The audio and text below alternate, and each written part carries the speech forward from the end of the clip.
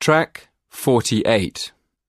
Now listen and answer questions 27 to 30. Um, we've already got some results from our first questionnaire. Do you think we could use them? I don't see why not. What have you found out so far? Well, the number of rooms was only important for 16% of the people we asked.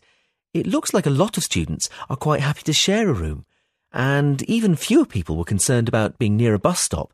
Uh, only 10%, in fact. I'm surprised about that. But what about the distance from the university? Well, that was quite important. Around 20% of the students we asked wanted to be close to campus. Hmm, that makes sense. And what about the cost? yeah, as we expected, the cost was by far the most important factor. More than half the students were concerned with the cost, 54% to be exact. Only 54%. I thought it would be closer to 80%. That is the end of section 3. You now have half a minute to check your answers.